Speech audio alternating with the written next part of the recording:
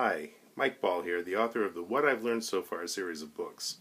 To promote my newest book, Banjos, Boats, and Butt Dialing, we're using a subliminal advertising technique in which we layer a subtle advertising message in with an entertaining video clip. Watch carefully and see if you can find the marketing message. If you don't buy Mike Ball's book, Banjos, Boats, and Butt Dialing, I'm going to come down there and kick your butt. Got it? Now go get it. Thank you. Did you catch it? Now, go to learnsofar.com and pick up your own copy of Banjos, Boats, and Butt Dialing. Thank you.